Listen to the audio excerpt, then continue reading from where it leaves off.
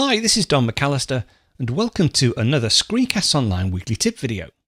Now, you're probably already familiar with the built in context sensitive menu within the Finder. So, if I select a file, I can control or right click and get this menu here. I can rename files, duplicate them, uh, share them.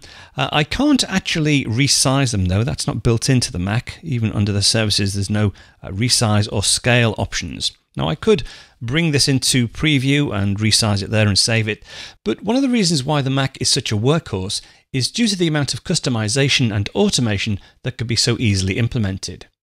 Now one of the unsung heroes of Mac automation is Automator, which allows you to create either simple or extremely complex automation actions using drag and drop. Now to demonstrate I'm going to create a new service on my Mac that allows me to rescale images in the Finder. let's go ahead and open Automator and I'll say File New. And I'm going to create a new service. Now this will allow me to access the action I'm going to create from that pop-up menu in the Finder. So I'm going to go ahead and say Choose.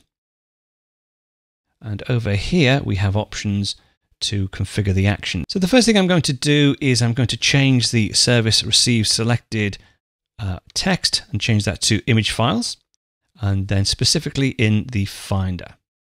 Okay, and now over here, these are all the various actions that are built into Automator.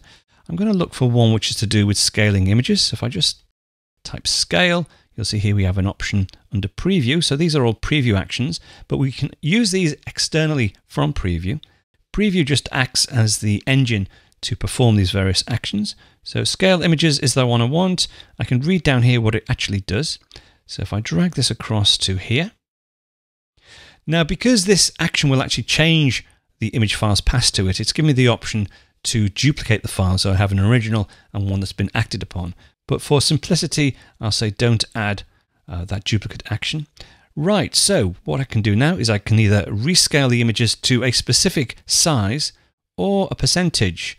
So if I say percentage and say 25%, so if I just overtype that with 25, that's now done.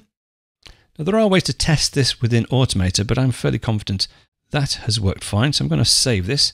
File save. And I'm going to save this as scale to 25%. And we'll say save.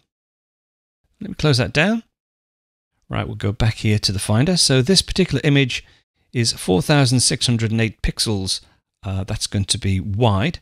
If I control or right click the image, Go down to services. We should see, yep, there we go, scale to 25%. Select that. We see a little cog working up in the menu bar.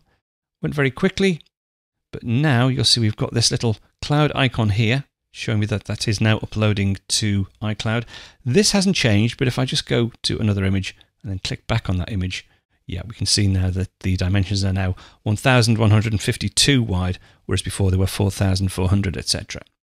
And I can do this to multiple files as well. So let's say these last three files here. If I select those, control or right click, go to services, scale to 25%. It will actually regenerate those files. And again, you can see it's a quick action, so it's disappeared, but there's a cog up here showing me that the action is working and they're now being re-uploaded to iCloud because this is in my documents folder uh, under iCloud Drive. If you want to learn more about using your Apple devices, there are over 700 full video tutorials available to Screencast Online members, covering all aspects of the Mac, iPhone, iPad, Apple Watch, and even the Apple TV. Now, all full members receive a new Apple related video tutorial each and every week, as well as a free subscription to the Screencast Online monthly magazine, packed with videos and articles on getting the most out of your Apple devices.